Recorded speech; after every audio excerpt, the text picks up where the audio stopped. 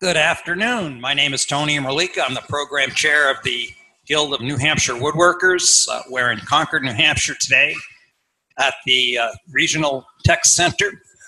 And uh, the afternoon program is by Mike DiMaggio. Uh, Mike is going to talk about how to uh, refurbish old antique hand tools as well as furniture. Mike? Thank you, Tony. And of course, we'll start with the oldest planes, which are the, the all wooden planes. now, this was a plane that I got when I was on a going auction hunting up in Maine, and it's a smoother, regular hand plane, solid beech. When I got it, it was black. It was all encrusted with mold. Um, I only started refurbishing it uh, last week. I just did the one side. I took all the mold off of it.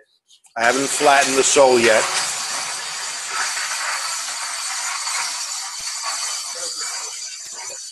I did I did sharpen the blade.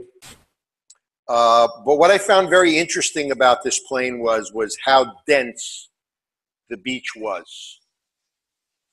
Really, really quality wood. Whoever picked out this piece of wood, the maker, whose names incidentally are stamped in here, picked out a really good quality piece of beech that has stayed check free probably for almost 100 years and really produced a beautiful a beautiful piece.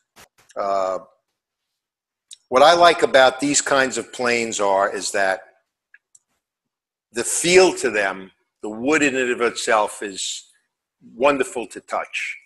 It's very different from working with a steel plane. And they're pretty forgiving. If you you know you drop it it doesn't crack like a steel plane does. If you get a ding in it, you can actually sand the ding out. You can flatten the end every year, and it doesn't take four hours to do it on a granite plate with a 60 grit sandpaper, which is really nice. You can run it over your joiner two seconds and you have a flat bottom. Um, but they're really, really nice to work with. They take very nice shavings, and there's a lot of them out there. There's a tremendous number of these planes out there. You just have to know what you're looking for. You want a solid wood. You want beech. You want white oak, which is very uh, uh, pertinent in, uh, in Japanese plane making. They use a, a, lot of white oak for their plane making and also for their handles, and some red oak. I haven't really seen the only hornbeam ones I know is that there's there's one called Ehrlich. Ehrlich, they make hornbeam planes. Emmerich, that's it. It's a Ger- I think a German company, and they make a hornbeam. A hornbeam also is an excellent, really hard. It's great for tools for handles. I've never seen one out of locust, and I, and I really couldn't tell you if I could identify that in a plane. Very hard. Um, any any wood that's really hard and dimensionally dimensionally stable is great for plane making. Uh, in our um, hand tools uh, group, we recently purchased some blanks out of uh, English Beech, which we were very fortunate to get our hands on to make a uh, a copy of a plane. I have a friend of mine who's a uh, who's really a, a, remarkable collector of antique tools, and he had this Dutch plane from 1674, I think it was, um, that he allowed us actually to photograph and. To, Thank you very much. 1682 that he allowed us to photograph and take dimensions on, and we're, we're, we're in the process of making that plane in the group, which is a lot of fun. Very challenging because there's a lot of carving. You have these huge volutes on the side, and a little bit out of my skill level, but hopefully some of you guys that are much better at it than I am will will help me. Um, so you have a lot of these kinds of planes. I didn't bring. I have a huge collection of uh, of molding planes. Um, when you're looking for molding planes, the important thing to look for again is the density of the wood. Make sure they're made out of the, the best ones are made out of beech. You also have to make sure that sometimes on the bottom there's an insert that gives you a reference point. Sometimes that insert is missing. If you're skilled enough to put it back in there, fine. If you're not, don't buy the plane. Um, you want to make sure that the iron isn't rusted to death. A lot of times when you purchase a tool, and you don't really get to see the whole tool uh, disassembled, the iron may be really, really pitted, which makes it difficult to sharpen, especially if it's on towards the tip and compromises the, you know, the quality of the steel. So you really want to be able to get uh, a tool that can be refurbished but doesn't have like enormous problems with it. Then we go to the transitional plane. Stanley was very famous for that, where they incorporated um, metal with the wood. Again, the beauty of it is this is also beech. And you can just see, now I haven't done anything to this plane yet. I just purchased this plane. The bottom, just from planing, is already burnished smooth. It's a beautiful, beautiful wood. Uh, I just sharpened the blade just to see how it would, it would work, and it takes pretty good shavings. And for a plane this old, when I put a square on it, it was almost dead, dead square, which is impressive, telling you the stability of the wood. My suggestion to you is if you're interested ever in going for antique tools, bring a small square with you and bring a small straight edge square to make sure that the, uh, the sole is parallel to the sides, the straight edge to make sure that there's no huge dips anywhere on the sole, especially in the front. I know sometimes people are into, you know, they get a, uh, an older plane, they are into flattening it, and they will spend days trying to flatten the entire sole of the plane. And that's fine, and for aesthetics, it's wonderful. But the most important part is what's in front of the blade. If you can get that part flat and there's just a slight hollow in the back, you're fine. You're going to be able to plane accurately. So you don't have to go crazy all the time in flattening the entire length of the sole, even in the back. If the front of that uh, plane sole is flat and polished, and the back is relatively flat and polished, even if there's a slight hollow in the middle, the flat part on the sides will be a sufficient enough reference so that you'll be able to plane accurately. This was a plane. I was actually at the Brimfield auction. Has anybody gone to that? Do they know about Brimfield? It's an amazing auction, mostly for furniture, but there's usually about maybe 10 or 15 little tents with tools. And I went there and there was a guy, an old guy with a beard, smoking a pipe, hanging out, didn't look very interested. And he had a whole cache of old planes. So I looked at this. This is a Stanley number four. For me, the hallmark feature of plane shopping is what does the tote and the knob look like? Why do I say that? Well, first of all, the value of a plane increases exponentially when you have a really good tote and a knob and it increases even more exponentially when that tote and knob are rosewood. Both these are solid Indian rosewood, which is very hard to come by. The plane bottom was flat, put my square on it. There was plenty of blade left. And this will refinish into a magnificent plane. I figured he was going to ask for 40 $45. I said, Sir, what would you like for this? He goes, Can you give me $15? couldn't get into my pocket fast enough. So the, this is the kind of a buy that you really want to look for. Quality rosewood totes and knobs. And you have to look very carefully because some people are very uh, skilled at repairing the tote. What they will do is, is they will reglue it, usually with epoxy if they know what they're doing.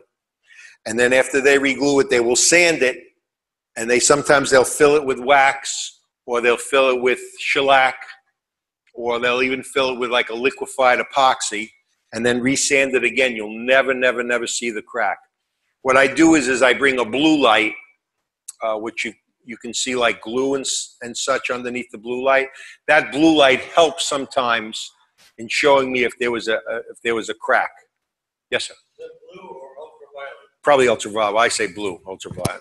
Thank you. Um, and it works great. Uh, because you do not want to buy a plane that has a cracked tote. When you can buy a plane like this that doesn't. Now, at that same man's desk was this plane, which, uh, as you most of you know, is a circular plane and compass plane, and they don't come all that readily. And it was rusted to death. In fact, the way I, I thought I had pictures of it somewhere. Yes. when I bought it, it looked like this. Okay. It was a mess. I couldn't get anything apart, and I said, "Oh shit! Did I make a mistake?" And the other side was like that. I said, Well, I don't think so. I have good feelings. I want this plane. So I soaked it. Now, I usually use um, distilled white vinegar. And the reason I use distilled white vinegar is that I've used muriatic acid, I've used, uh, what's that proprietary stuff that they sell? Um, Evaporust. When I use some of the other substances, I find that it leaves a very dull grayish patina on the metal, which I don't really like. And the only way that I've effectively been able to get rid of that is either I have to wire brush it on my on my uh, brass brush, or I have to really kind of scrub it with oil and very very fine steel wool. So it takes a tremendous amount of work and time on my part. All I did with this was soak it in white vinegar and then I cleaned it off with a brass brush. I haven't done anything else to this other than after I dried it off, I put some wax on it. So I find that vinegar as an anti-rust agent is very, very effective because it not only removes the rust, but what it does is it gives you much less work to do if you're looking to refurbish the tool. Pardon me, sir? I had it in for about half a day. That's all. Yes, sir. Do you dilute the vinegar No, mix? I, straight. Okay. And and after I use it, I I siphon it through paper towels and use it again because it really doesn't lose strength. Yes, sir. Yes, when I do a wooden plane, yeah, only only the metal parts go in, not the handle. But this is this is all metal, so that's why it was immersed. Yes, Gary. How long do you keep it in the solution on an Usually average? 12 hours. Uh, and I'll periodically check. And, and what I'll do to check is I'll take it out. Of course, I have a, a glove on my hand because otherwise I have no fingers left. And then I'll take fine steel wool and I'll just start rubbing it gently. You'll find with the fine steel wool, if, if the uh, rust is emulsified sufficiently, it kind of just almost wipes right off. Great. And that's kind of your key to knowing, okay, it's been in long enough, you can take it out, and then you can actually clean it with just the vinegar and, and then the fine steel wool. But as soon as you do that, you must, you must, you must either oil it or wax it.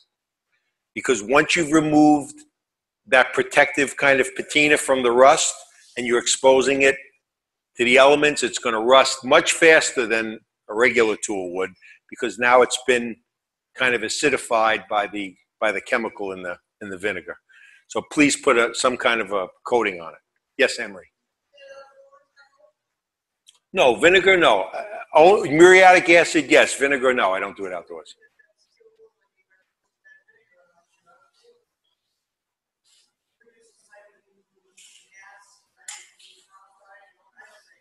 Really? Vinegar and steel wool?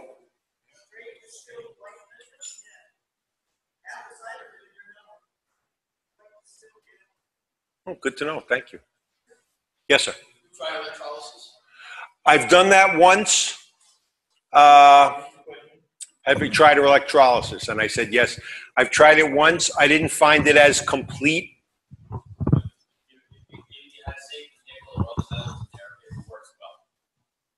You mean The acid will attack the other, the other metals. the other metals? Okay. so here I got this one. I think he charged me twenty, and this one 15. So for thirty-five dollars, I have well over two hundred plus dollars in in planes once they're refurbished, and, and their quality. I mean, everything on this plane worked, which I didn't know initially, and that, and that's always the problem. Like now, I oiled this. Let me talk to you a little bit about oiling too. One of the best substances that I've ever used is um, Shield T9. And the reason I like that so much is it always leaves a kind of a waxy coat on the threads on the metal. I use it predominantly to uh, lubricate anything that's um, threaded or that has movable parts. Now, my esteemed friend Peter would say to me, Michael, you don't know what you're talking about. You want PB Blaster. And you know what? He's absolutely correct for rust, uh, uh, prohib- prohibiting rust, or for breaking it apart. The problem with PB Blaster is it stinks. I was using PB Blaster one time. My wife came downstairs and she turned around and went upstairs. and said, Why'd you leave? She says, It stinks down here. and I find that it that smell kind of lingers. So when you're doing tools, the last thing you want to do is is is refurbish a tool and make it stinky. So so in deference to my buddy, uh, I have no longer used PB Blaster for tool refurbishment, and I use the T9, which I think really does a great job, and it has that lingering effect of having that you know the waxy part to it. T9, it's by Boeshield. It's air. It's uh, they use it on air, aircraft. Uh, T? T9, T9, Boeshield, B O E S H I E L D. Okay. Uh, next. So let me just go through a little bit about planes. One of the most important things that I found out, unfortunately, by accident, is that every plane that you buy, even though it's a Stanley, even though it's a Bailey, isn't the same in terms of the quality of the casting. I thought, oh, you know, Stanley made millions of planes. They were made with fairly good controls. I'm sure they're all the same. Wrong, they're not. What I found out is, is that many planes have very different casting dimensions in the body. How did I find this out? I had purchased this as a Stanley four and a half, which is my favorite plane. And I got it for a very nominal price. I think I got it for $25 at an auction. Didn't have a have a intact tote. I said, no problem, I'll make one of those. and looked pretty good. So I started to work on it. I had taken some of the rust off of it. I working on the tote. And I had been working on a piece of furniture and I had let some shellac fall on my bench, un, unbeknownst to me. And I had taken the plane and I put the plane on its side. Next day I came down and I went to pull the plane up and I and it wouldn't come up. I said, "What the hell is this?" And I looked down. I said, "Oh, it's shellac." And I just pulled on it a little bit and it still wouldn't come up. And I was like, know, I, I tapped a little on this side and it still wouldn't come up. So I, I got a stick, a wedge, and I thought that you know, piece of wood, put a little uh, bevel on it, and tapping it with a hammer and pull that pop. And what happened? This whole piece here, if you come up close, cracked right off of the plane. What the hell is that? So I'm looking, and I notice that the sides of the plane, relative to the other three four and a halfs I own, was much thinner. So I said, let me take out my dial calipers. And I started measuring, and there was huge differences amongst all four planes. From the best plane that I own, the highest quality, to this being the lowest quality. So what I started doing was when I go to these shows and such looking for tools, I bring a set of dial calipers as well because you never know what that casting is going to be in terms of quality. And what I do is, is I try to get the best plane that I have and I use that as a standard and I have so much of a deviation in my mind that I'm willing to accept but you really want to check that out because this plane that I thought was a really great plane really had an inferior casting. I mean, there's no way that a plane you're pulling it off of just dried shellac should crack like that, but it cracked so easily. I was really, really stunned and disappointed. okay, let's talk a little bit about um, refurbishing the totes. What I generally do with a tote like this is you never know what the finish is. I mean, in the old days, they could use linseed oil, they could use some kind of a varnish, They could use a lacquer. They could use just wax, shellac. You never know what you're going to get. So the first thing I do is I always take out my little alcohol and I rub it to see if it's shellac. The alcohol will emulsify the shellac. It'll take off the finish. That doesn't work. Then I know it's some other kind of a finish that's going to re- require a much more stringent, you know, you know, uh, refinishing component. And what I'll do is, is I'll I'll soak it in something for a short period of time, put on gloves, and then I'll rub very gently at first with uh, steel wool. And as I'm rubbing and it starts to come off, I'll know that that's what's going to work. I'll take it out, put it on a blanket, and then I'll rub it all off with the steel wool. Once I get the finish off, then I'll clean it with mineral spirits. Now I have a nice clean surface.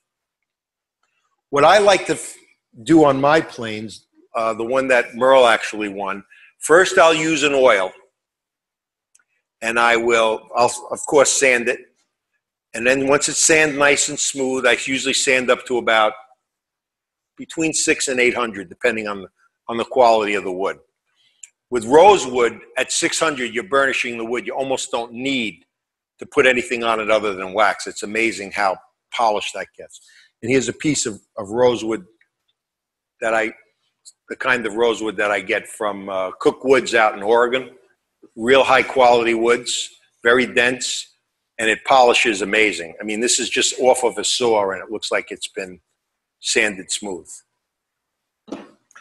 And then, so so once I have that uh, that tote all out and and sanded properly, then I will use. I like to use tung oil, and I'll put a coat of tung oil on. I'll rub it, soak it really good. Wait a couple of hours, come back, wipe it off, let it dry overnight. If it looks like it's really impregnated well, then I may go to the shellac. If it's not, I put another coat on, let it dry. Once it's all dry, then I will buff it again with with uh, with steel wool, just to kind of blend any of that existing oil back in. And even if it's a slight bit wet, not wet to the touch, but you can see it's still weeping, you can seal that with shellac. And I didn't know that. And the, and how I found out that that works was, I'm fortunate enough to live in an area in Canterbury where I'm surrounded by talent. I got David Lamb up the block. I got Tom McLaughlin to the left of me, and I got Claude a little bit past Tom. So, I mean, I got it all covered. There's no question I can't ask. There's nothing about turning, fine furniture making, finishing. I got three of the most talented guys in the country within five seconds of me. And I became very friendly with Tom, and I used to go over there and spend a lot of time with him working on pieces. So one day we were making this table. Actually, it was for one of the shows that he did when he used to be on uh, Rough Cut with Tommy Mac. Now it's Tommy McGoffin. And he was making this big kitchen table. So he goes, Mike, today we're going to oil the table and I'm going to finish it. I said, We're going to do that one day, Tom? He goes, Yeah. So he takes out mineral spirits and he goes, Let's rub it on. You take that end, I'll take it on. Rub it on the mineral spirits. Soaked it really good. We waited an hour or two. Come back, wiped it off. How does it look? Any dry spots? You had a couple over here. So put a little more on, Mike. Put a little more. Put some on his side. Rubbed it. Okay. Buffed it in. We waited another about hour or two. Okay. Uh, carry it downstairs. We're gonna. I'm bringing it to the spray booth. I said, Tom, it, it hasn't even dried three, four hours. He goes, Mike, it's fine. First, I'm saying to myself, does this guy know what the hell he's doing? And then I'm saying to myself, he's a furniture master. Sure, he knows what the hell he's doing. You don't know what you're doing. I said, okay. So we lifted up the top, brought it downstairs, wiped it down again with a clean cloth, and he proceeds to spray a shellac finish on it. And Tom is an excellent sprayer, by the way. If you ever want something sprayed professionally, David Lamb sends his stuff to Tom to spray. That's how good Tom is. Don't tell David I said that. So he sprays the whole top, dries in, you know, 20 minutes. We wait another hour. He says, okay, there's some nibs. He rubs it down with some very fine steel wool and a little oil, wipes it again, sprays it again. Top was glass smooth. I couldn't wait to come the next day. I said, ah, that, I, I'm going to come back there. It's going to be a mess. It, it was gorgeous. So what I found was you can seal shellac. You can seal with shellac a lot faster than I thought you could. And it makes for a remarkable finish. And the reason you can seal with shellac, which I didn't know, is shellac breathes, where a lot of other film finishes do not. So you can seal if there's any more oil that needs to kind of off gas or needs some kind of oxygen, it actually goes through the shellac, but it doesn't damage the finish. So what I do, what I did on, on Merle's plane was actually it was beech and it had some stains in it. So I used uh, what's called oxalic acid. I'm sure you're familiar with that. Oxalic acid is wood bleach. And you make a solution in, in warm water. You put it on the, whenever you're using it, let me say this whenever you're using it, you have to do the whole piece. If you just do one spot, that spot will be nicely bleached and the rest will look like crap. So you do not want to only bleach one spot. You have to bleach the whole spot. Now, if, if one spot requires a little more, you can put more in that one area that may be impregnated with mold or some other kind of, you know, encrusted dirt or something. But you have to do the whole entire piece when you bleach. So I actually soaked the tote in there because it had two or three looked, looked, looked almost like a mold, but it may have been stained from like some kind of a metal being next to a metal that was wet or such. It bleached it nicely. There's no stains that you can see on that handle, is there, Merle? It looks pretty, pretty clean. Okay. So soaked it in there, took everything out, let it dry uh, about half a day. I always set things up in front of a fan so that there's always movement and helps things to dry quicker. Then I um, then I oiled it with tung oil, uh, soaked it really good, waited an hour, wiped it off, soaked it one more time. I think I waited maybe two hours, wiped it off. And then at night, when I came down, I buffed it out with a nice clean lint cloth. Then I sprayed it with spray shellac. Yes. This stuff's great. And once you get your spray technique down, you can put a coat on. You almost don't need to do anything, which I can't do because I'm kind of OCD when it comes to finishing. so I sprayed this. I think I sprayed two, three coats. And the third coat, then I used uh, steel wool. And after I used the steel wool, I, bu- I buff everything out that I make, whether it's furniture, whether it's tools, whether it's jigs, anything that I put a finish on, I always buff out with steel wool. And I use four odd steel wool. And I've been using lately a steel wool that Briwax makes because it's oil free. It's a real good quality steel wool. It's very fine and it doesn't leave some of those fine little bristles that you see sometimes in some of the other steel wool. And the reason that's important is if you ever use any water based finishes and some of those little things break off that you don't see, and you put it on with, and then later on you use the wax, you'll actually find like little rust spots. And you'll say, where'd those come from? It came from those tiny, tiny little pieces of steel wool that got impregnated that you didn't see because you didn't dust off properly or you didn't use a tack cloth or blow it off with a compressor. And then the water base will actually cause it to rust. So if you're doing something that's a really high end piece, what you want to use is oil free steel wool. And Briwax is makes a really good product. It's not cheap though, but it's it's a quality product. Yes, sir. Okay, so you tell me about the, uh, using the, uh, bleaching. Yes. Oh, With some of the bleaching, uh, I know I bleached the floor one time because I had, a, you know, I had to, but I, and I did just exactly what you said, did the whole floor. But I had to use a neutralizer with that. I don't know if that one, because there was peroxide and everything that you mixed with it. I was just wondering, with that particular bleach that you're using, do you have to use anything to uh, neutralize it after? Generally, I will, I will, I will uh, wash it off with warm water. Thank you for mentioning that, and that, that is a step. Once I do bleach it, I will wash it off with warm water and a, and a, and a light scrubby pad, not a, uh, not a real heavy duty one that's going to scratch it. Thank you. So then I put I put three coats of the shellac on, and then I buffed it with um, the steel wool and some wax. And you can ask Merle. I mean, the handle has a beautiful, soft feel and patina to it, which makes it really enjoyable to, to use. You know, when you want to pick up a tool, when it feels nice. Thank you for caressing that for me, uh, Merle. when it when a tool feels, I, I know. when a when a tool feels nice, it's not only beautiful to look at, but it really kind of kind of motivates you to want to use it because it it feels good. You just, I mean, there are times I go downstairs and just kind of touch my tools, just because. You need to delete that from the tape. Be, because it because it feels just feels so good that silky smooth feel, and you get that by finishing something properly, as opposed to just slapping on polyurethane or slapping on some kind of a finish.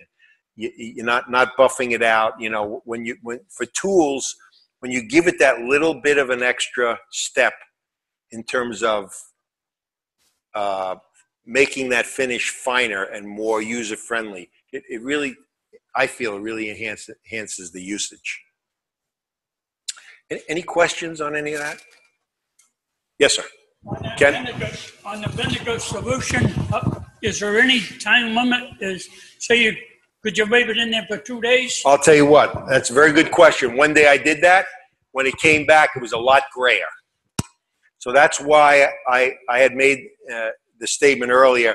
Once I go in there and I start to rub with the steel wool and I see that all of the uh, rust is starting to emulsify, then I know it's good and I'll take it out of the solution just using my steel wool and a glove and, and the existing vinegar and I'll clean it off until it's smooth. That's what that's what I did with the um, with the compass plane. What the hell? Oh, here it is. And all all of the rust is basically off. There's no more rust. Now there is some pitting, and I'm going to address that probably with some very very fine sandpaper and oil, um, just to give it a little more smooth texture. Yes, sir. The uh, white vinegar you get at the grocery store? Yes, but try to get distilled because the, the reason I say distilled is I read some articles on that, and distilled seems to have a little more of a refinement to it. It has less, uh, I guess, elements in it. My friend here, the chemist, would I be correct in saying that? Oh, the question was um, distilled vinegar versus regular vinegar. Does distilled have less heavy elements in it that, okay, so that would impede m- maybe the Okay. That's why I used it. Yes, sir. If you have to flatten the plane, how are you doing that? Okay. Good question. As I said before, like on this plane, I I brought my square and I brought a uh, a straight edge, a Starrett, and it was almost dead flat. But every once in a while, I'll find a plane that I really like that's not so flat. How do you flatten them? What I do usually is I, I got myself a granite block because a granite block is probably the flattest uh, thing that you can use for flattening because they're usually like within a thousandth of an inch uh, in terms of their flat flatness overall. You can always you can also use a phenolic plate. Se- several of the uh, woodworking corporations sell what's called phenolic plates. They're like uh, four inches wide by maybe 12 to 16 inches long, and they're also dead flat. And you can adhere sandpaper. Sometimes I use a spray with very thin sandpaper. Sometimes all you have to do is wet it, and the the, the wetting action will actually suck the paper down so it doesn't move. But a lot of times I have to spray. Um, you can use float glass. That's also very, very flat. Or if you're broke, like many of us at certain parts in our life, you can go to Home Depot and get a and get a granite uh, floor tile and use that. Is that going to be within a thousandth of an inch? Probably not, but it's not bad. So you can use that as a as an option. I'll start out with 60 grit. I usually use uh, WD 40 because it's cheap and it's pretty good for uh, you know, flattening purposes. Sorry, Peter. Uh, and then I'll go, then I'll go to 60, I'll go to 80, 120, 150, 220. I usually don't go past 220. Um, and the reason for that is if you make it too slick, you'll find that your plane will almost like start to adhere to any woods that are a little bit wet. That you know, it's just so so flat and so shiny, and so 220 is usually fine. Sometimes I also use my good friend's polishing compound on a big piece of leather when I want to give it a nice flat, shiny patina, and it works fabulous. And if you didn't buy any, you're out of your minds because it's really good stuff, and he's selling it for a, a fraction of what it costs him to buy it. Diamond slurry paste. It's right over there. Earl will show you. Raise your hand, Earl, so they can see. If you want to know anything about any kind of buffing compound or anything like that, he's the man amongst his other talents. So that's how I flatten the bottom. Again, everyone doesn't want to spend their weekend flattening a plane. So you have to say to yourself, what, what are my limits? Like, what, what am I looking for? What you're really looking for is you want to get the, the space in front of the blade as flat as possible. And if you can get both sides fairly flat on the edges, you don't have to worry about this whole hollow because now you have a flat front and you have the reference parts on the side. You basically have a flat structure. And that's more than sufficient. And now you can go watch the football game and you know you're not downstairs for three days because some of these some of these planes are really really out of flat you can spend a hell of a lot of time i was talking with peter one time i said we should invent the machine that can flatten planes.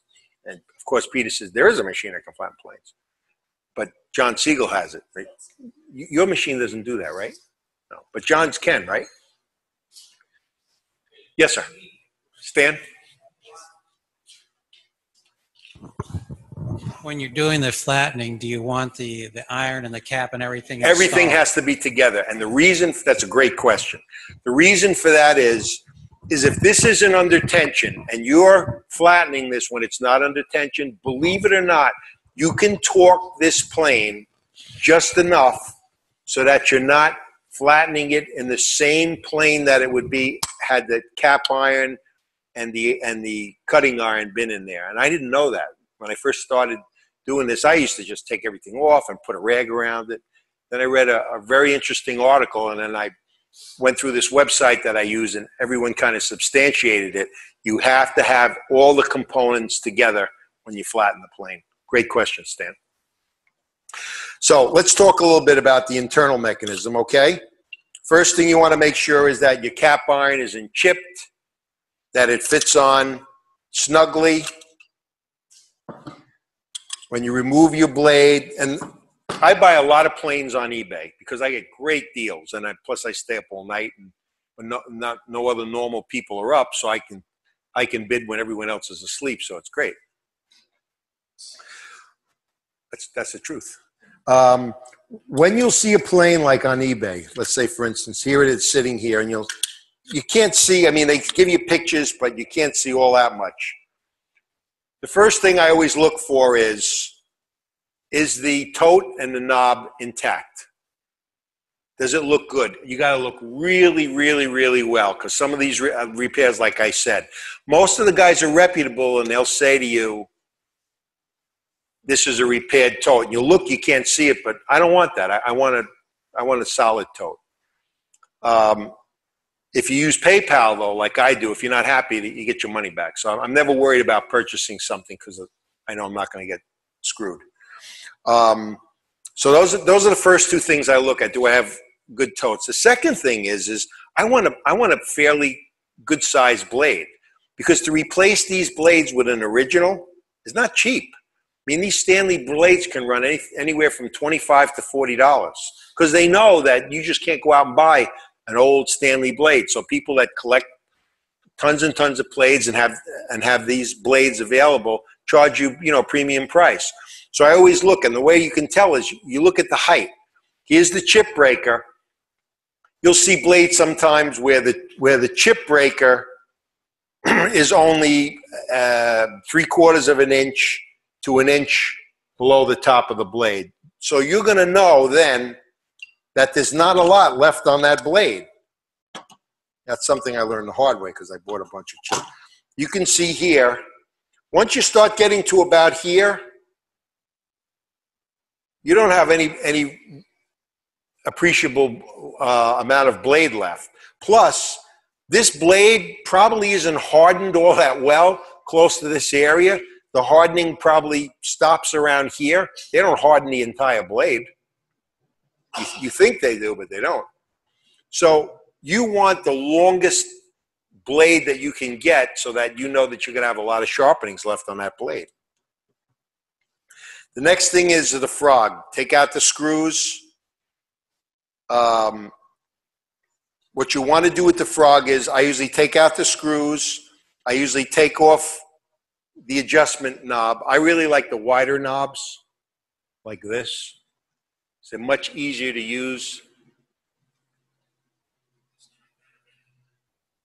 Is that good, Gary? Okay. The wider knobs like this are easier to use. And you know, as we get older, it's tougher to turn these things. And I'd much rather have something nice and big that I can that I can spin easily than some like like this knob is really tiny. It's a pain in the neck to turn. And I, I like brass as opposed to steel. So I usually take off the anvil. The anvil is this is this little piece here for you people that may not know that allows the plane blade to rotate up and down. I'll take that off. It's just a pin in there. Just tap that out. I'll clean that up. I'll clean up the uh, adjustment knob. Do I have one that I cleaned? On on Earl. Yes, sir. The yoke, yeah. On, on Merle's plane, I cleaned that adjustment knob with just a brass brush on a, on a, on a grinder. And it, it cleans up, you know, really nice. And then I use brass polish to enhance it a little bit. But they, they clean up very, very nice. And then I'll take out the frog. And what I do with the frog is once I clean it well and oil it, I'll put it on a, um, on my granite plate with maybe uh, 150 paper, and I'll run it back and forth for maybe five or 10 minutes until the bottom of the frog is nice and shiny and dead flat. You want that to be seated because that makes a huge difference if it's not seating properly in terms of maintaining the integrity of the blade against that frog. So you want to you want to take that and rub it against the granite plate so it seats nicely. Um, now, let me talk a little bit about Japanning. Does everyone know what that is? Yes, Japanning. Has anybody heard that term? You do. You know everything. You're a smart guy. Now, a lot of times when people refurbish planes, they'll take a plane like this, and the Japanning is the black, looks almost like paint, that they use to seal uh, the bottom of the planes and some of the aspects of the artifacts of the planes. Now, that Japanning is not paint. It's a combination of, I think, asphalt with some paint components and some other things. And it's baked on, it's not sprayed on. They put it on and then they have to bake it. That's the, the correct historical way to replace the Japanning on a plane. Most people that I've seen take the plane, go to Home Depot, get Rust-Oleum and go, up, oh, refurbished. Does it look nice? Looks okay, that's not the historical way to do it. If you want to do it correctly, there are websites that will give you the formula for how to do the Japanning. Most of the times, I don't redo the Japanning because it's it's expensive and tedious to do that.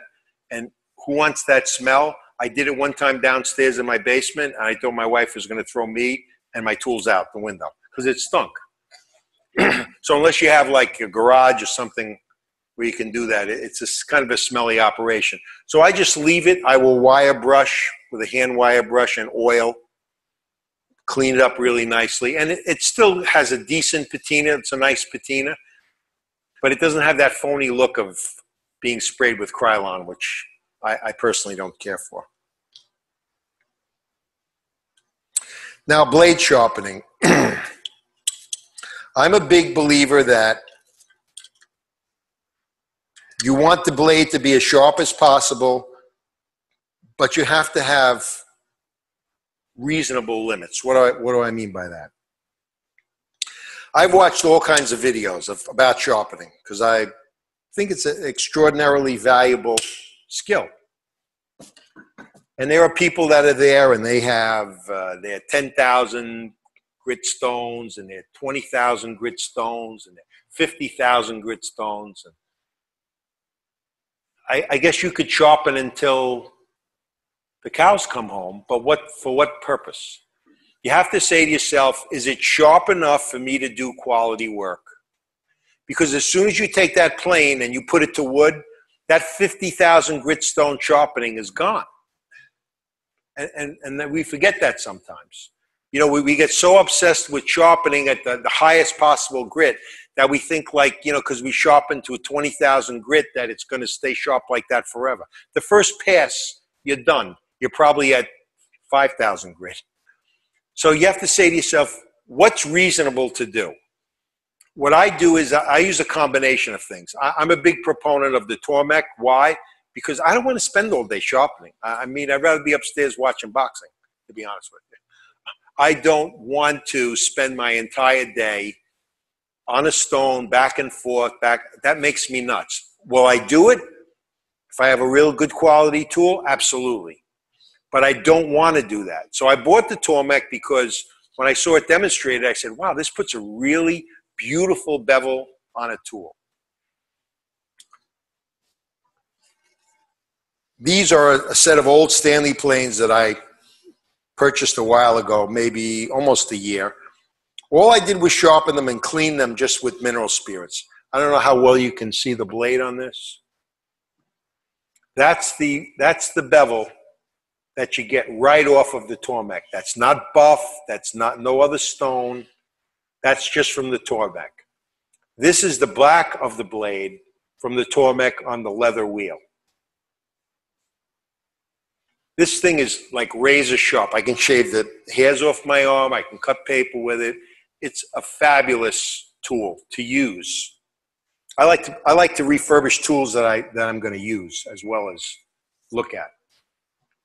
So when you're using the Tormek, you're going to yes, sir. Oh, you're just stretching or What do you think of the Work Sharp? the Work Sharp is okay, except for the fact that the Work Sharp goes around. So now you got to think of what's going on in terms of the uh, dynamics of the steel being cut in a swirl. The strength of steel um, is mitigated by what we're doing to it in what direction.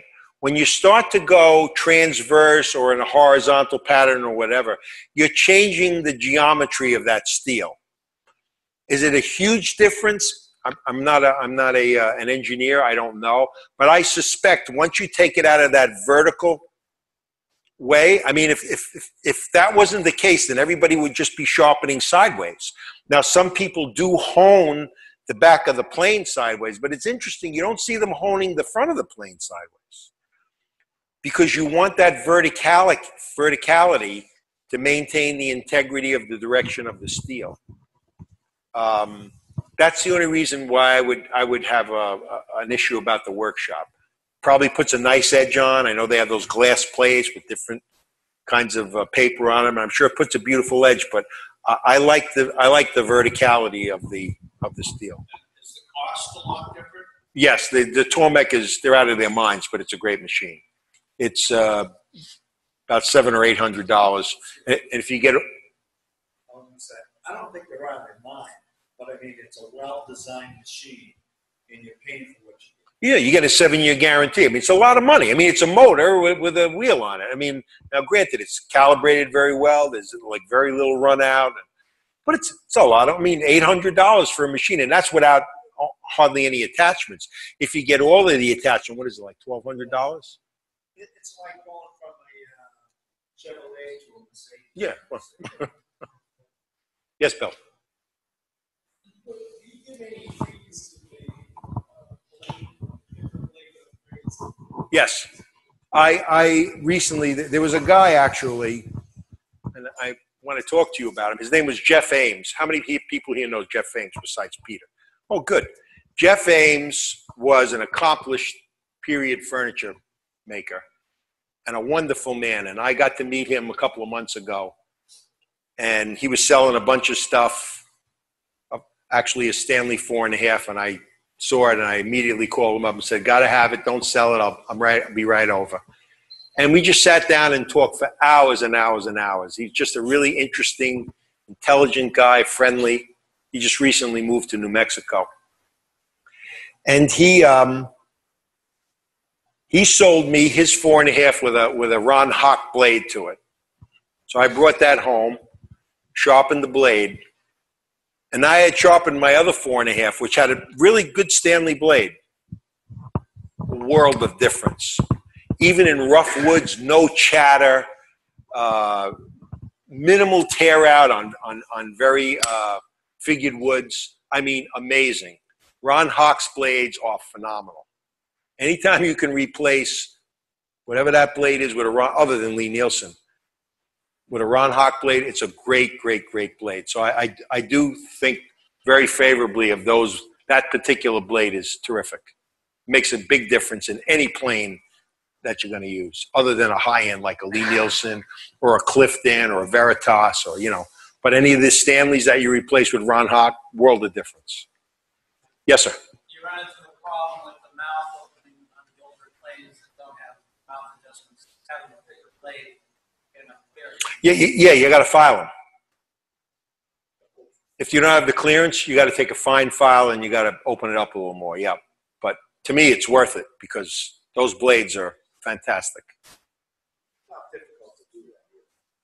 No.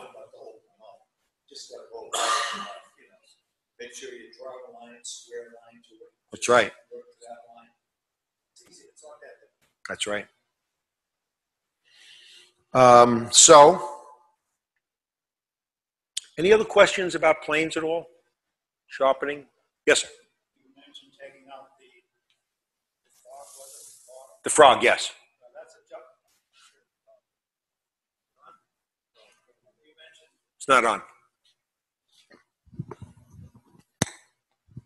There it is. Hello. Hello. Um, you mentioned you took it off, but Yeah. we didn't mention how to adjust it. Well, on some of the planes, there isn't a lot of adjustment. Usually on the frogs, that- when you remove the screws, the screws will have a certain amount of mobility. On some of the other Stanleys, there's actually a screw in the back that can adjust the frog back and forth.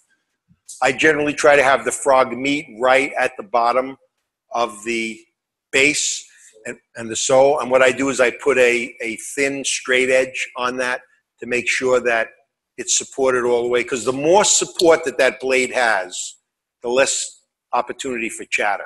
Sometimes people will move the frog back a little too far, and then the blade is kind of just resting on the sole and a little bit on the frog, and there's space. Not good. Yeah, that's why I asked the question because I did have one the other day that there was space between the before I took it apart. There was space between the frog, between the opening and the frog. Okay. So I slid it ahead and And it made a big difference, right? Yeah. Great. Yes, sir. There's not a book, but oh, I wanted to mention this, and that's a very good question. There's a website that is amazing in terms of tuning up planes, parts for planes. I was going to print out a whole bunch of stuff, and I started. And I was I was on page sixty. I'm sorry, I was on page sixty-seven, and I said, if I make hundred copies of this, my print is going to melt. so what I did was I copied the websites down at home. So anybody that's interested in any of this information, let me know because I, I took a whole bunch of the websites on plane refurbishment, sharpening blades, sharpening saws, a whole bunch of stuff, furniture refinishing, all the topics that we're kind of talking about here. And I'll send you all those links because that's much easier, and then you guys can copy them yourself. I don't have it in my head. I'm not that smart. Al, I'm old. I'm. I'm. He's from a different part of Staten now. I, I can do that too. I can do that too. Sure. My pleasure. so that's planes. Anything else I want to say about planes? No. Any other questions about planes at all? I mean, if you have a lot of money, you want to buy a Lie-Nielsen plane. They're fabulous planes. Can't say enough about them. Veritas, also fabulous planes. They're accurate. They have great blades. They're thick. They're terrific. But you know you have to be willing to pay three or four hundred dollars. You can go get a Stanley if you shop for forty or fifty dollars and put some work into it and throw a Ron Hock blade. And for one hundred and twenty-five dollars, you have something that's not a Lie-Nielsen, but it's not bad. Pretty close. Yes, sir. Woodcrafts are all right. I mean, I, I wouldn't say that they're not good plays. They're they're okay. Yeah. Yes. Oh, they're okay. Yes.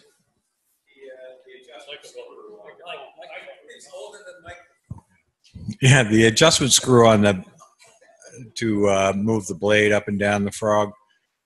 Um, they get a they get some play in the uh, in the threads, and you have to turn the screw a little bit further, or sometimes a lot further to get the thing to move. Uh, what do you recommend for that? Well, yeah. If you get a lot of play like that, then then maybe w- what you need to do is either get a new screw or a new adjustment knob so that you don't have all that backlash. It shouldn't. Go ahead. Sometimes it's in the yoke, because it's wearing. I mean, it's just backlash. It's, plane works good, literally. Yeah. What saying? I can't hear you. What he what he said. Go ahead. Go ahead. Give give him the. So you can get. Jeez. Hello. uh, you can get play uh, in the in the yoke of the plane. You know what I'm saying? From where it's uh, you know these planes have really been you know banged around, used extensively, and uh, the materials aren't the materials that going into a Lee Valley or a Lie-Nielsen plane today. So you can look around for another plane uh, and maybe get another yoke that's similar and fix it up that way, or you can just you know live with the backlash. It's not that bad. You just take it out. Every time you advance uh, bring it back you just take it and you bring you know turn the screw so it takes it out and you're fine. It'll work. You know? All right Any any other questions about planes at all? And any questions that you can think of later on? I mean, yes, sir. Yeah, I just want to mention, in, in regards to, you know, the play, the slop, and the yoke, I, I see a lot of tooling, and it seems to be, it seems to be the, a lot of people say, well, it's for woodworking, and they don't want to use any oil or any grease on the tool. But there is a place for that. And a little grease on the yoke, a little grease on the thread, it's, it's not going to ruin your woodwork. You know, you don't slather it, but the tool will last many lifetimes longer. That's correct. But you know, I, I get tools where I have to make parts because people just wore it out because it was dry. The other thing is, is that you know th- there are dry lubricants out there that are pretty good. There's a bicycle lubricant that dries dry, that works pretty effectively. Um, my good friend Peter pointed that out to me, and I actually used that on my SawStop because I was having trouble uh, raising and lowering the blade at a certain point. Once I cleaned out all the threads and I sprayed it with that, let it dry overnight. The next day, it whipped up and down like nothing. So the dry lubricants are very effective. And if you're worried about contamination or you're worried about it dripping, that's another good alternative. But the gentleman's absolutely correct. You got to keep your stuff lubricated. I mean, if I leave any of my planes for any period of time, I spray the whole things down with jojoba oil or camellia oil and let them just sit there. And then when I'm ready to use them, I wipe them down.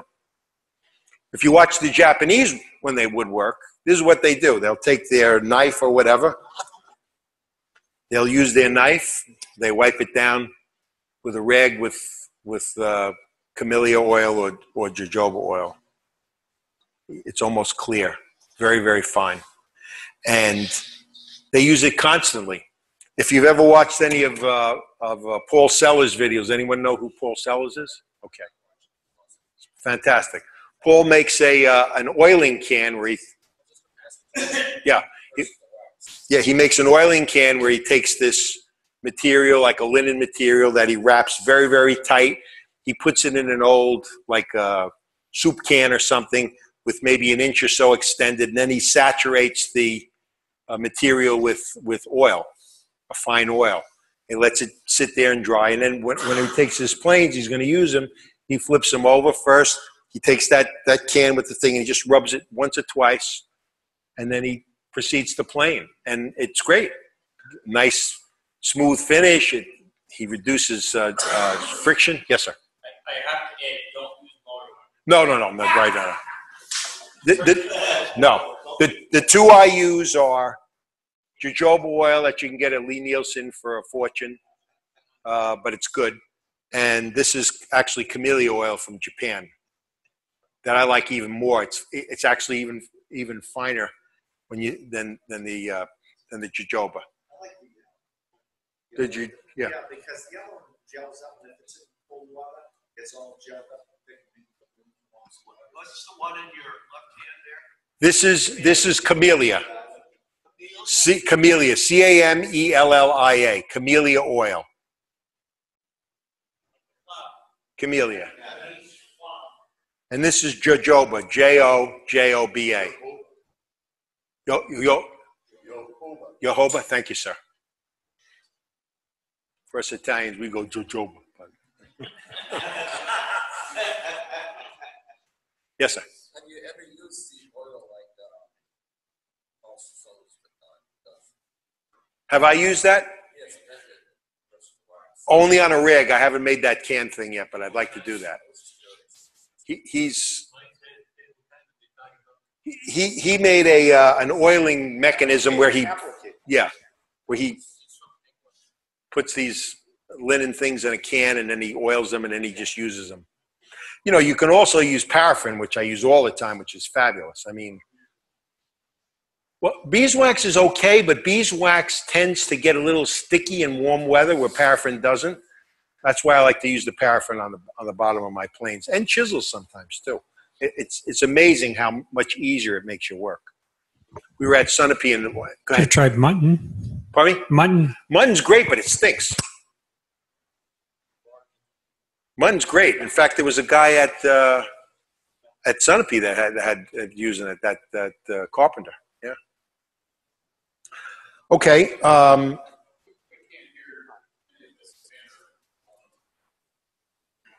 oh, you mean from the question wise? Okay. The, the question we, we were addressing was about, about the kinds of oils that you can use to oil the planes. And I use I, the two things I, hel- I held up. Then we talked a little bit about Paul Sellers makes a can that he puts oil, in impregnates, and he uses on the bottom. I said some other alternatives are paraffin, which I use all the time. Another gentleman suggested uh, beeswax, which is okay, except if it gets warm, it can get sticky. Um, what I like to use sometimes is carnauba wax. And if you guys want to come up here later, this stuff is so hard, it's almost like ceramic. It's incredibly hard wax, but it's fantastic. It puts an amazing finish. You can actually use this on the lathe. You can burnish this right against your piece, and, and that's your finish. It's terrific, but it's really, really hard. Okay, um, let me see. I'm going to go through some stuff fast. Incidentally, I want people to come up here and touch this stuff. It's never fun to just listen to somebody talk and not touch the tools, especially the Bridge City tools, because I think they're works of art. And it'll give me the opportunity to go home and polish them again, which I really like. okay. Let's talk a little bit about chisels. I love the old Stanley, Stanley Everlast chisels because they're incredibly durable. The steel is amazing. It's fairly hard. It's probably a Rockwell 57, 58, which is pretty hard. It sharpens easily, but they're workhorses. They have a metal tang that goes right through the handle to the back. So you can use them for fine finishing. You can bang the hell out of them. You'll never, never, never damage this plane's body. You may mess up the blade a little bit, but unbelievable. And they're a set like this now. I just saw on eBay went for almost eight hundred dollars. I couldn't believe it. Um, the most expensive ones are the uh, the bigger planes, the one and a quarter, the one and a half, and the two inch. They're hard to come by. I actually have a bid now on eBay for a two inch one. Stanley is that? What was the second make? Stanley Everlast, E V E R L A S T. If you ever can get your hands on those, you want to. Now, let me talk a little bit about planes. First thing, chisels, I'm sorry, thank you. The first thing, I know, it's tough when you get old. The first thing you always want to make sure is, is that there is no pitting whatsoever towards the edge of the blade, towards the part you're going to sharpen. I don't care how much pitting there is back here. I'm probably not going to be alive by the time I get to this part to sharpen. It doesn't make any difference to me. Does it look terrible? Yes. Aesthetically, it's ugly. But in terms of the quality of the tool, makes no difference whatsoever. However, if you don't, if you do have pitting here at the edge and you try to sharpen it, you're never going to get a really, really fine edge that can, you can do any fine woodworking if there's a lot of pitting. So you always want to avoid that. The other thing is you have to say to yourself, what, what can I do and what do I like to do? I love to make handles for furniture, uh, for tools. I love to make handles. So it makes no difference to me whatsoever what shape the handle is. In fact, I'd rather buy a tool that had no handle cheaper than one that had what they thought was a beautiful handle. But if you don't like to make handles, then you really have to take a close look at the handle. Is it chipped? What, what kind of wood is the handle made out of? Can that chip be repaired? What are you going to do with it? Are you going to do mortising? Are you going to do paring? Are you going to do fine woodworking? Are you going to do any kind of heavy carpentry where you're going to be banging that plane? You have to make a determination. How am I going to use the plane? And that kind of judges gives you a judgment as to you know the condition of the handle and what you're willing to do with the handle. So these planes are fabulous because they ha- they're made out of uh, red oak, extremely dense. You rarely see them. I mean, every one of these planes is over 100 years old. And this is this is the worst that you'll see on the plane is a slight, slight check. How's that? I want to see it. You want to see it this way? He wanted everyone to see it. The handle. Hand. It's, it's, it's not focused. It's not focused. You're fired. You're fired.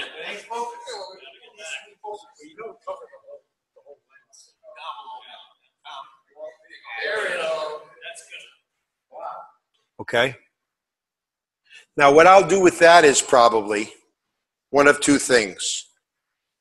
I'll either put in a colored wax that I melt, um, that's in here, wax sticks, and I use a, uh, I use a uh, alcohol torch with a little palette knife, and I melt that in. Or I've also started to use, uh, Mohawk makes these uh, proprietary epoxy putties. They're called Tootsie Roll sticks. They look like Tootsie Rolls. And you knead them up. They come in a gazillion different colors. And I'll put that in there, and then you can sand it. And whatever finish you want, oil or whatever. Uh, usually on these, I use lacquer um, because um, I don't want them to be have a problem with any kind of moisture because I'm usually using them in an environment sometimes where there's moisture. But also when you use epoxy, when you put an oil finish over it, it doesn't look as good. With the with the lacquer, you can you can tint it to the color of the wood and the color of the epoxy, and it kind of all blends in. The great thing about epoxy is, is it doesn't move. So when you fill it, it stays that way. It doesn't shrink. Like, you know, some of the wood fillers will shrink, even the, the better ones like Famowood and such. There's always a little bit of shrinkage. Epoxy just never shrinks, stays solid. Yes, sir. There's a magazine called Epoxy Works, and it's on the West System, and it is fantastic. And I, of course, I'm boats, but it's the uses on it. You can look at the back, uh, the back uh, issues on the website. But I subscribe; it comes for free. And what they'll do is, it's just amazing. Epoxy Works. Epoxy works. Yes, sir. Who makes what's the rolls?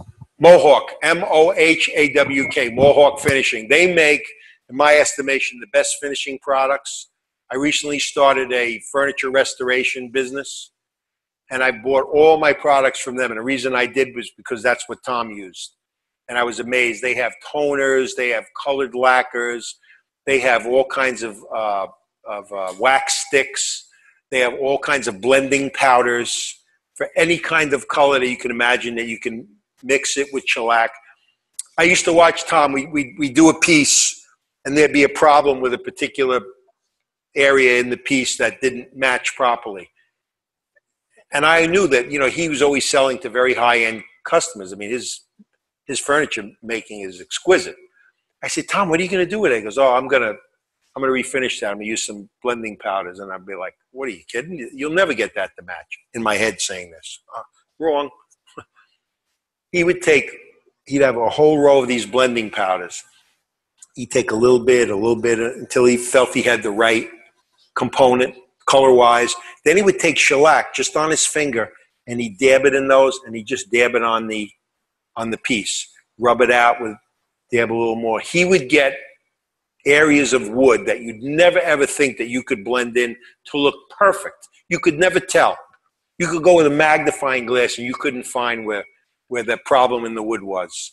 That's how good he he was at it. And when I used to watch him, I was like, oh, that's the stuff I got to get. Now I'm nowhere near as good as him, but the product itself makes you good because it's so fine and because there's such a variety of colors and because it's it's reversible. If you don't like it, you put a little you know put a little acetone on you, you wipe it off, and you start all over again. It's terrific. You can't make a mistake. So blending pals, Mohawk, you want to go to their site, and then you want to go to Amazon. I don't know if you guys have Amazon Prime. I do. I buy tons of stuff from them. They have a lot of their products at very good prices, and it's free shipping if you have Prime, which is great. And It comes in two days. Okay. Um, so, in terms of chisels, there's a there's a there's a lot of, of, of makers out there. There's some from Germany because I think it's F Ethkislula. It's a German-made brand. Every once in a while, they come on eBay. They're fantastic. The steel is amazing. They're usually phenomenally expensive, but if you ever see them at auctions, I buy a lot of things at auctions because people like don't know what they have. They'll, they'll be like a box of crap, and they'll say, "Oh, give me five dollars."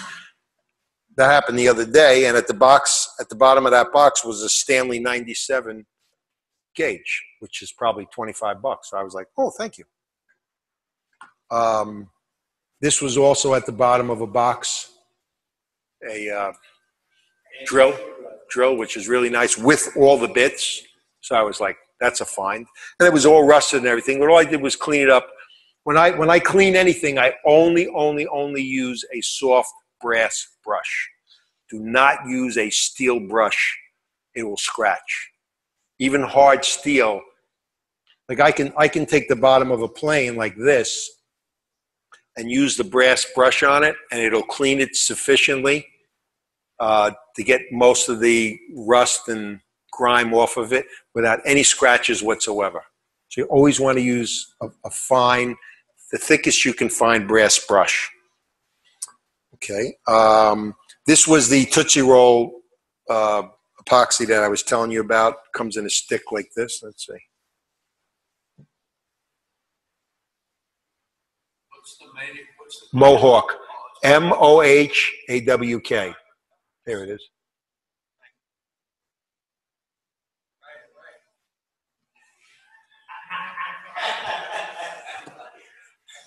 Okay. Yes. Yes. They, they sell Mohawk. Woodcraft sells Mohawk problem. I just don't want to pay twice as much for it as we should. Sorry, Mohawk. Um, this is the blending powder, also Mohawk. We'll get there. Very sensitive carrot, uh, uh, camera here, Gary.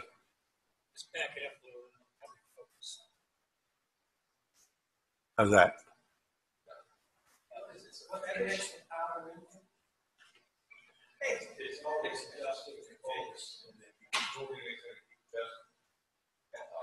Mike, you to keep it here for a while.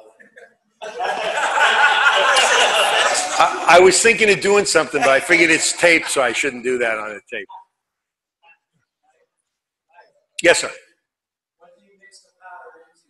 Uh shellac. A little bit of shellac and I dab it on. You could do it with oil. I mean, sometimes if I'm, I want a particular color, I'll mix some of the blending power in the oil that I'm using, like the tung oil, mix it up, and then I'll rub it in. I'll burnish it in with, um, I'll burnish it in with uh, fine steel wool. Let it set for a while, and then I'll buff it out with a pad. It's amazing the things that you can do to wood by using various combinations of oil and blending powers, powders and waxes, and it's just phenomenal. Yes, sir. Are you gonna add that onto your, uh, sheet list? Yes, I will, I will give you all of the information.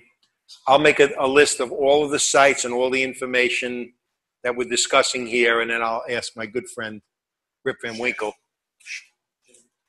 my good friend Jim, to, uh, he's giving you a hard time, to, to post it on the website. Okay, we have a half an hour. Um, so in terms of the chisels, no pitting. Don't worry about the blade not being sharp. Some of the older chisels, like Buck Brothers and uh, uh, Diamond and Weatherby, um, the steel on them is excellent. It's cast steel. It's not O1 steel. It's not A2 steel. It's not cryogenically treated, but it sharpens up pretty easily and it has a really, really, really sharp edge that it keeps for a while. Does it keep it as long as a Lie-Nielsen plane or no? But it's sharp and it's very functional and it's very easy to sharpen. Sometimes when I'm doing something, I don't want to I don't want to spend another 20 minutes sharpening a chisel. I want something I can sharpen in two seconds. And I'll put it on my diamond stone and flatten the other side and, I- I'm ready to go. And the, the steel of the the quality of the steel is excellent. Just a regular type of steel that they used in the old days. is just regular, you know, regular steel. It, you know, wasn't. It's not treated like a, you know, like we do now with all the different components. But it, it keeps a very the older steels you can sharpen to a very, very, very fine, sharp edge. It's amazing, and and it's done easily, which is what I like. Is that your soft brass brush there? No, No, that's really. This is the brass brush. This is what I use when I'm refinishing. When I'm refinishing, uh, oh, we're in the, I'm on the wrong thing here. Here we are.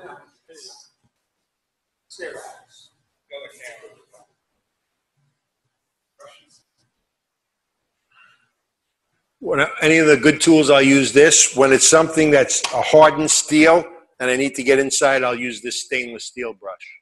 I'll never use a brush that's not stainless or brass because if those things get in there and any kind of moisture, that promotes rust. I do not want to promote rust on my tools. Okay. Um, I'm going to pass this tool around. This was a tool that I bought recently for four dollars, and the reason I bought it was I thought it was an excellent uh, example of a crappy finishing job. So I wanted you guys to see it, so you'll so you'll know not what to do when you look at it, and then I'll discuss why it's crappy.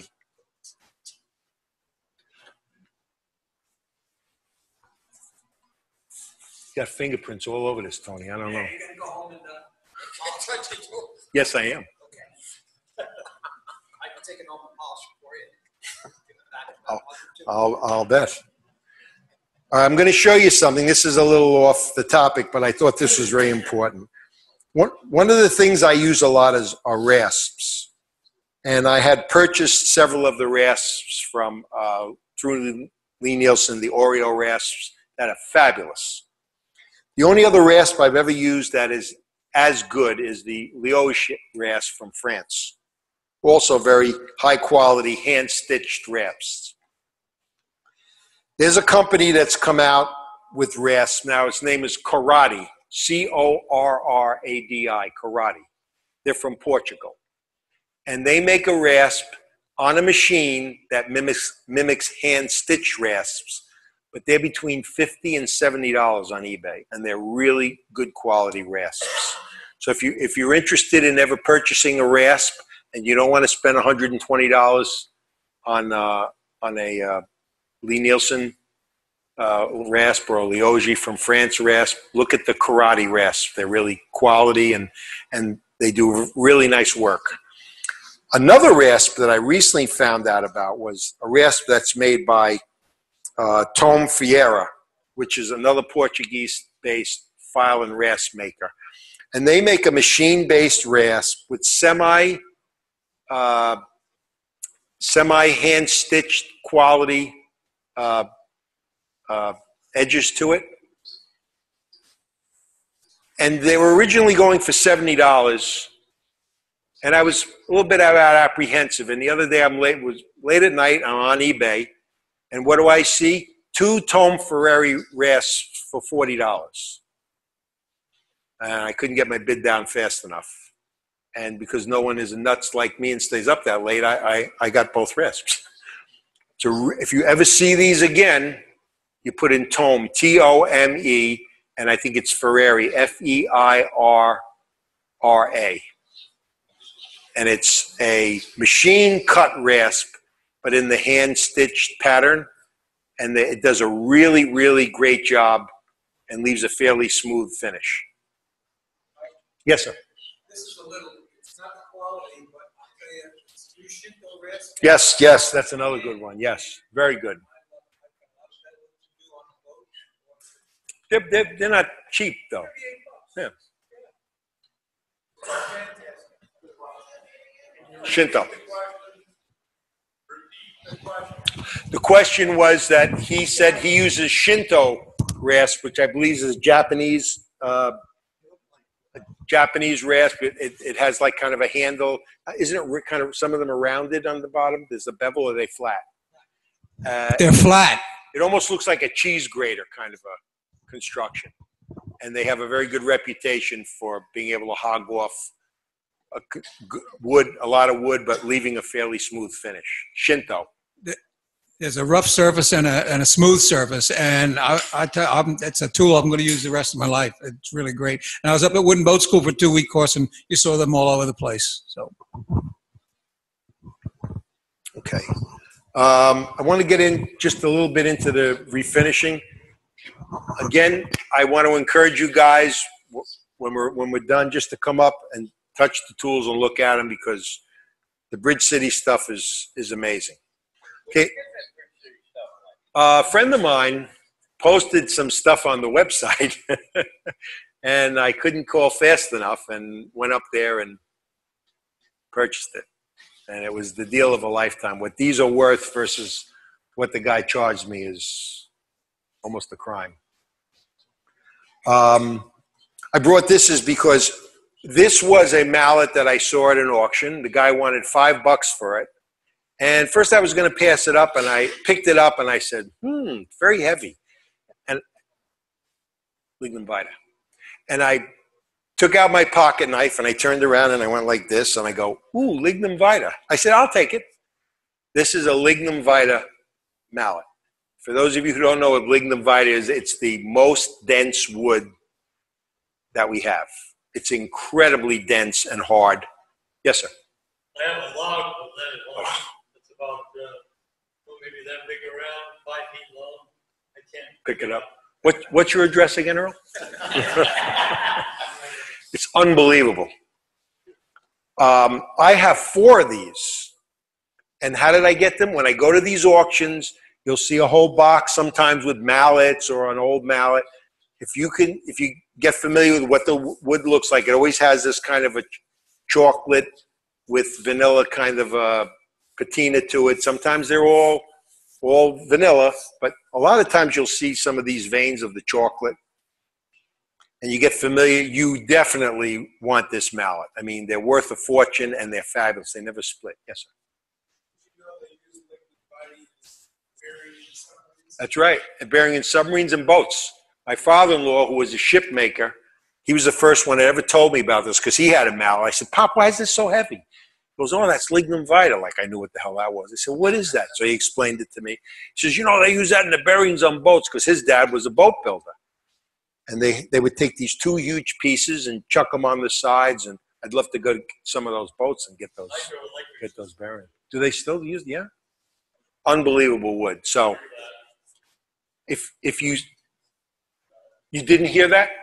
He said hydro, he was saying that hydroelectric systems use that too as, as for bearings, the lignum vitae, this kind of a wood, because it's, it's impregnated with like a lot of resin and it's very hard. So it makes a very good, like a bearing, a bushing kind of. Can you scratch it with your fingernail or is it that hard? No. So how tough is it to machine? Uh, you have to have very sharp tools and you got to sharpen them a lot. But this, after I turned it, it was all mess. I just turned it to get all the crap off of it. All I did with this was put sandpaper on it. There's no finish, and it's and it's like glass smooth. Really, Pass pardon me.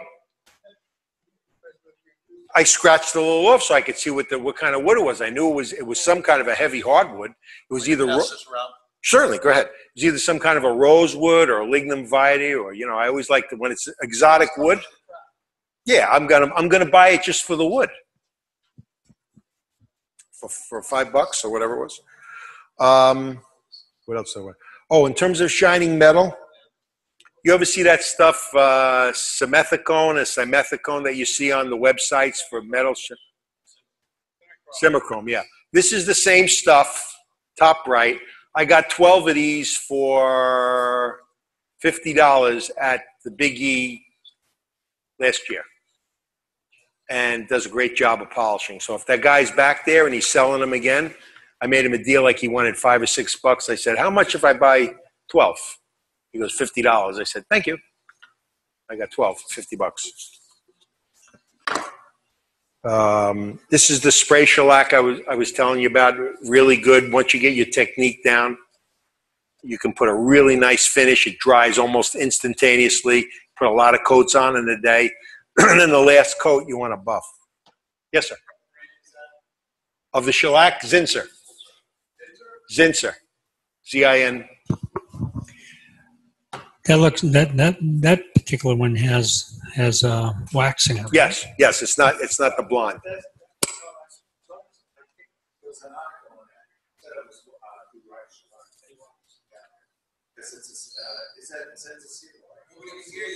There's an article on that. Said it was, who writes about it. Yes, it's, it's, is that, is that the secret? We can hear you. Can't hear you. Does it say secret? No, it doesn't. Can't hear what you're talking about. Okay. What, what he what he was saying was we were trying to determine if in this can is it clear without any wax or does it have Yes, wax? It is, because wax will clog the nozzle. So the spray, any of the spray cans is non-wax. Okay. Thank you. That's good to know. Thank you very much. So, what I heard was, because I was trying to figure it out too, and I wondered, there's nothing on the can. All right, all right, all right, take it easy. Relax. What I did is I was researching it myself to find out. So I, I always read the labels, and there was no nothing telling me on the can that it was wax free.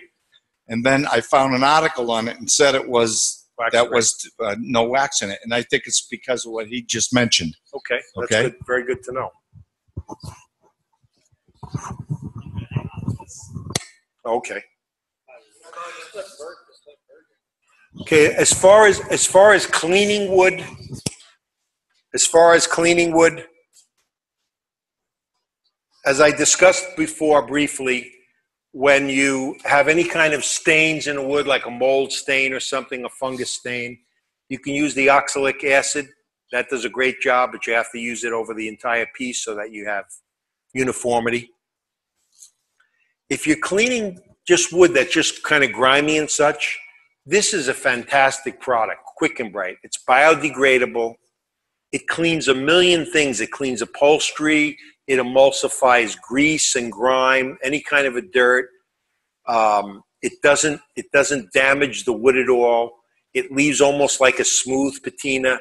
You can you can dissolve it in a in a warm or a hot uh, water bath and use it as a spray. It's a terrific cleaning pro- uh, product. It's amazing on furniture. If you get grease or grime on your furniture, this stuff will take it out. I always used to use Lestoil, but my wife's very kind of environmentally sensitive. Anytime I clean something with Lestoil, oh my God, Lestoil again. And she hated the smell, and it is. It smells like a petroleum distillate. It's this stuff smells like baby fresh clean, and it's relatively cheap. And this this goes a long, long way. You don't need a, a lot. So if you need to clean anything, even wood, Quick N Brite. Yes. Where do you get it? Amazon. Amazon. I get everything on Amazon. Yes, sir. Yeah, uh, before you end today, could uh, you deviate just slightly from the general talk? I'm intrigued by what you said. You and Tom McLaughlin were working on a table, and you used mineral spirits on it, followed by shellac. That's right. Uh, could you elaborate on that when you're finished with the, the general talk? I, I tell you now. I- We we he it was a cherry table. This was a new a, a new brand new table that he had constructed. He he we sanded it all to uh, 220. He blew it off with the compressor. Then we rubbed it with uh, with rags and uh, uh, no, ju- just to clean it. Ju- Rubbed it with rags and uh, and uh, sticky stuff. Then when it was all clean, then we took mineral spirits, high end mineral spirits. He took one side, I took the other, and we rubbed it on with a rag. What what was the reason for the mineral spirits if the wood was a, a clean, clear, fresh new wood? He he likes the look of the oil underneath the shellac. It gives it a little more depth, and and I've have found that to be the case after using that technique myself. I always like to put an oil finish underneath, and then if I, I want a little more protection, I'll put the shellac over. But I, I thought once the mineral spirits evaporated, you just had a uh, you had either nothing or a resin left behind. There's, there's an oil left behind. Sure. Yeah. It'll continue to bleed depending on how much you, you put on there. And then Oh. once it stops bleeding, it's just like, it, you know, you can put mineral spirits on a cutting board.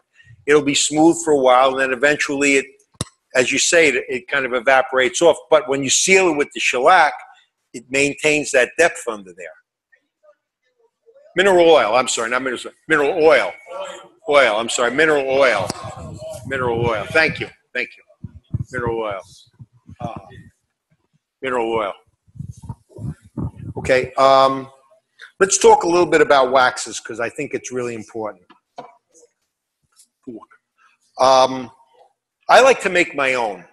And what I do is, is I, I buy these bricks of, uh, of beeswax and I'll melt these and I'll usually melt them with some carnauba depending on the percentage that I want.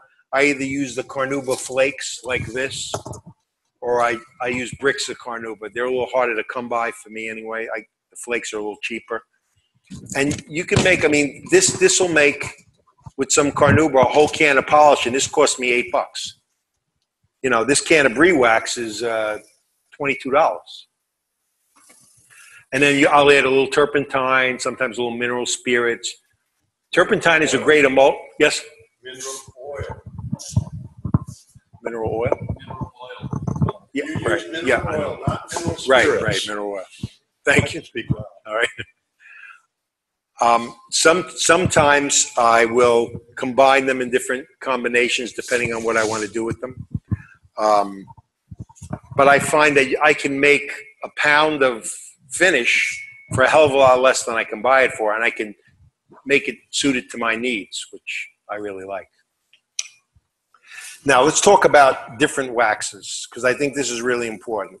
I was at a conference in um, for uh, fine woodworking, and I and I had the opportunity to have a really extensive discussion with Teri Masaschi, who I know many of you know, who's a world class finishing expert. One of the only people I've ever heard openly criticize Bob Flexner, which I found very illuminating.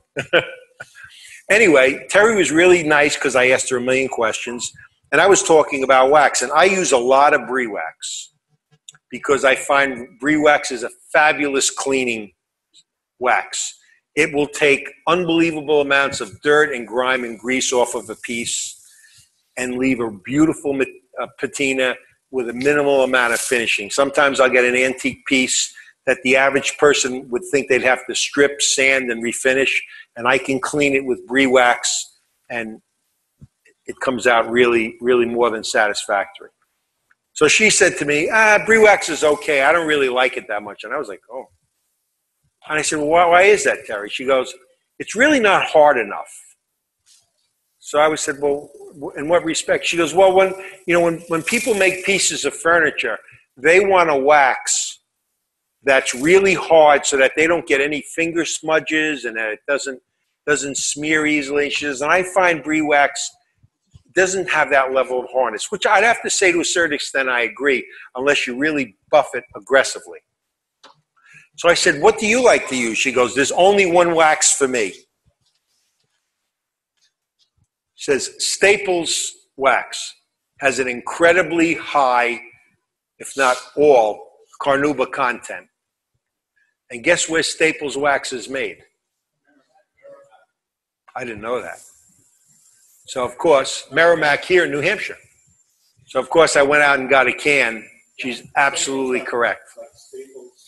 Staples, just like the store, right? Staples. It's a fabulous wax with a hugely high, if not all, carnauba content. It buffs to a tremendous lustrous finish, and it stays really hard and it does not smudge. It's a great, great, great wax. Yes, sir. Free wax used to claim that they had the highest carnauba of all wax.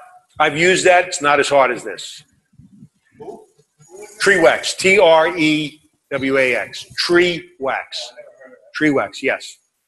The other wax that I found that's almost as hard is this by Lundmark. Also has a very, very, very high carnauba wax content. Now, both these waxes are great for finishing purposes. They do a great job when you've put on your nice film finish, your shellac or whatever, and then you want to buff out with four aught steel wool. Either one of these waxes will do a great job. This wax, which is very highly publicized, is very, very, very soft.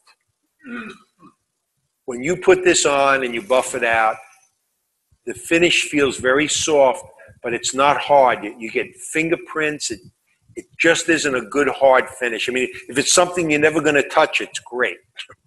but if you're going to handle it, not a good finish. And this is highly touted and very expensive. I bought a ton of these cans that somebody was just looking to get rid of.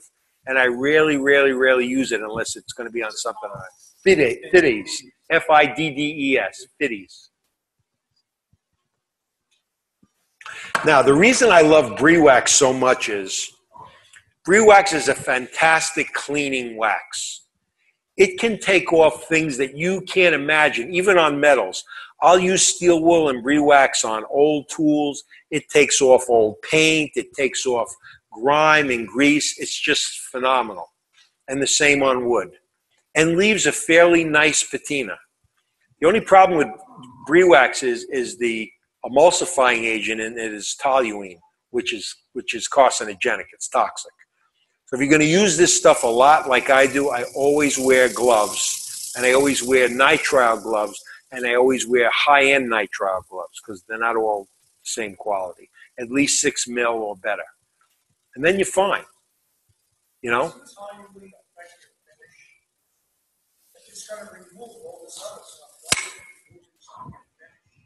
If you rub hard enough, it probably will. But I mean, I'm, I'm looking to do that because whatever's going on in the wood that I'm using this on, I want to get all that off of there. And sometimes, even if there's a finish on there, I like a wax finish sometimes better than a film finish. Feels much nicer. For example, Is that considered a hard wax or soft? Briwax is, is probably intermediate. Let, let him feel that. Th- This, this side of the plane was, was, no, that gentleman there, let him, let him feel that. Just that, that, that side there. That's, that, that was the plane that I purchased. It was, it was, was full of mold and all kinds of stains. I just rubbed that one side for five minutes with some Briwax and, and steel wool. And you feel, I mean, it's such a nice, soft, smooth patina and cleaned up really nicely, I thought, relative to how it was when I bought it. You couldn't do that with most other waxes. No, the only thing I was concerned with is some, uh, paint, use. So, you know, here you go put a nice shellac finish on a piece of furniture.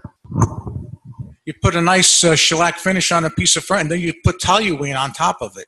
Well, he- here's the thing: toluene evaporates, so it does. It's not like it stays in the wood. It's it's used as the emulsifying agent, like the to to make it a liquid.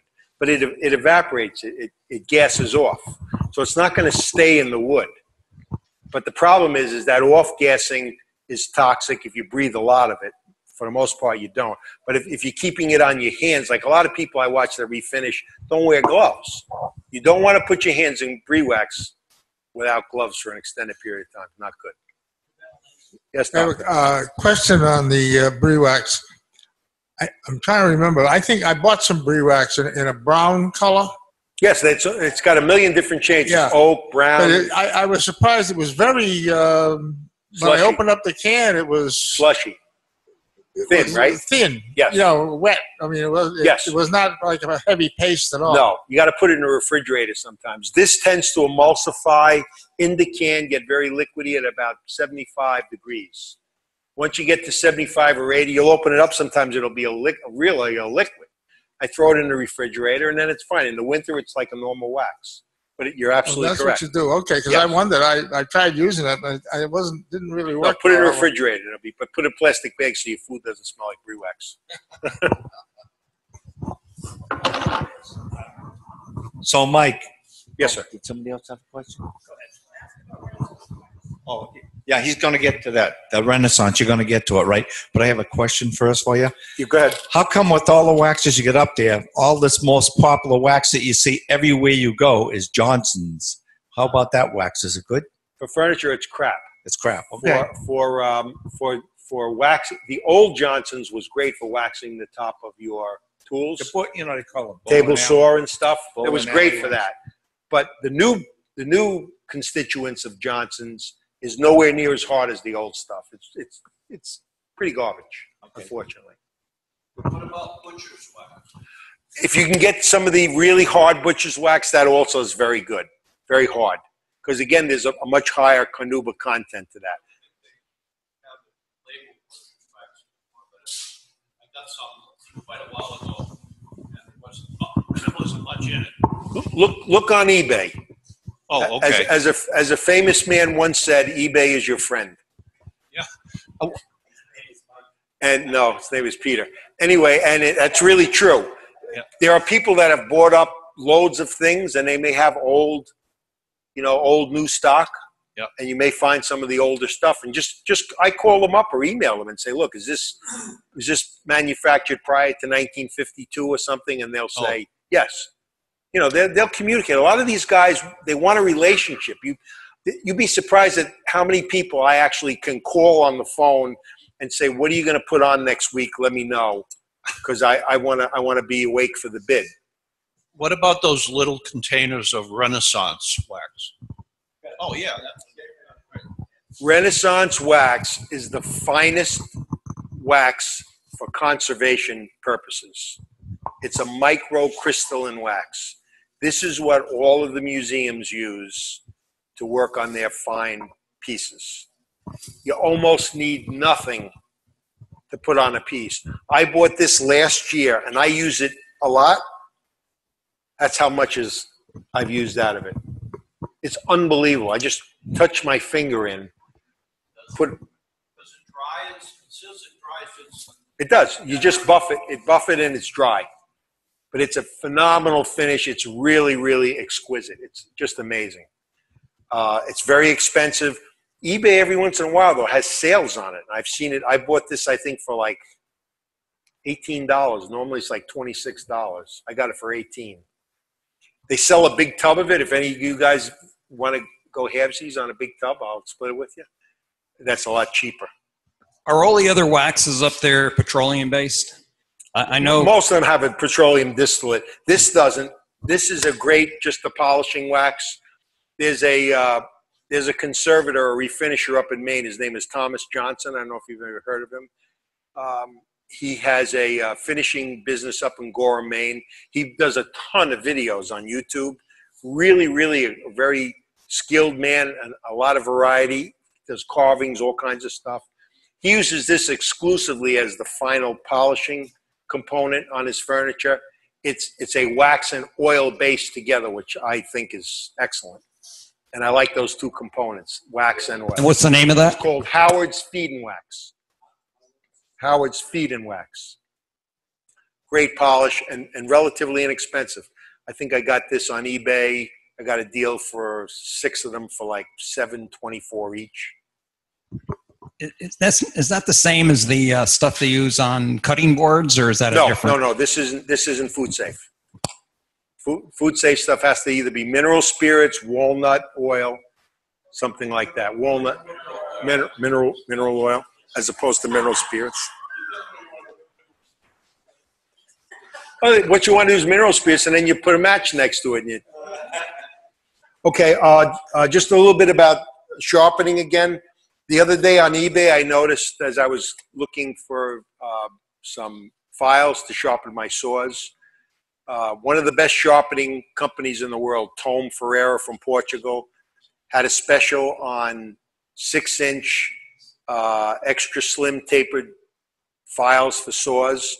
They normally go for like seven, eight, nine dollars each. I got a dozen for forty-four dollars. Fabulous deal. There's a guy, forget his name, who apparently has bought up hundreds of thousands of dollars of their stock when they went out of business. And every once in a while, he puts so much stuff on the on eBay. He's a really nice guy. I've spoken to him on the phone. If you can ever get your hand on a Tome Feteira set of files, they're without equal. I mean, they're durable. They already have like a coating on them that kind of helps with when you first start. They last a long time. They're very sharp. It's a real, really good quality file. Tome Feteira. Uh, just in, in closing, I started a, uh, a furniture refurbishing business this year just because I was a little bored. And the first project I had was a woman came to me and said, My dog ate my spindles, my stretchers. I said, Oh, can you fix these for me? I said, I think so. What I didn't know was when I tried taking these apart, most most win this is a Windsor chair. Most Windsor chairs are either if they're vintage antique, they glue with hide glue, or they're glued with some kind of an aliphatic glue, yellow glue, white glue. The repair that was done on these was glued with epoxy. And I sat there and I sat there and I sat there for hours trying not to burn this up, which you can see I accomplished that, trying to release it with just heat in it would not come apart. I didn't know what to do. And I was starting to panic because I had this for a long time. So I emailed my good buddy Teri Masaschi and I said, Hi, Terry, remember me, the guy that talked your ear off? And she was very charming. And I explained the problem and she says, Well, there's something that you can do. I said, Great. She said, What you can do is drill small micro holes all around the spindle inject some kind of solvent like toluene or naphtha or something in there. She says, then I'm going to tell you the next thing to do, and you're going to think I'm crazy, but it works. Just have to be very careful. She said, apply heat. And I'm thinking myself, toluene and heat, that kind of equals explosion. And she said, if you apply too much heat, it will explode. so I was like, thanks a lot, Terry. She says, but if you apply it, take it away, apply it. She says, if it starts to smoke, she said, stand back and move away very quickly. She says, I would also suggest, she says, are you a turner? I said, yes. She says, wear your face mask when you do it. So I was like really scared. But I, I drilled the holes and I applied the heat. I injected. I have a, one of those high pressure syringes that I use for furniture fixing, and I injected. I I think I used naphtha all through. Heated it, pulled away, heated, pulled it, and I put spreader clamps on it. And then all of a sudden, I heard a pop, and I thought it was an explosion, and it came apart. So that worked, but it wouldn't be something I'd, I'd ever recommend. Yes, sir. I, uh, read an article John Barrett also. And he would drill holes in where the joints were, but had steam going in. I tried the steam; it didn't work. Not not on the epoxy. Uh, Maybe I couldn't get the steam in far enough because I didn't have a needle for the steam. I only had needle. the head. That that may have You been have the to have a difference. needle. That may have been the difference. I could not get it apart. I was going out of my mind. I was all ready to just cut it and then just re- drill it, and I really didn't want to do that. So I just Story with the screw and the vice there. Oh, okay. Let me let me just finish this and I'll. So anyway, I replaced these, and uh, I was working with a woman. This was a uh, that was the Windsor chair. I was working with a woman, and we got a commission for a Lincoln rocker. And when it came to us, it was in pieces, and it was hold that up to where it's good for them to see. It was tremendously damaged and she goes, "Can you can you put this back together?" And I said to her, "I don't know, Marianne. It's pretty messed up." She says, "This is for an elderly woman, and she really wants it." And I mean, I felt so bad. I said, "All right, all right." She says, "The guy doesn't have any money." I said, "Mm, "What else is new?"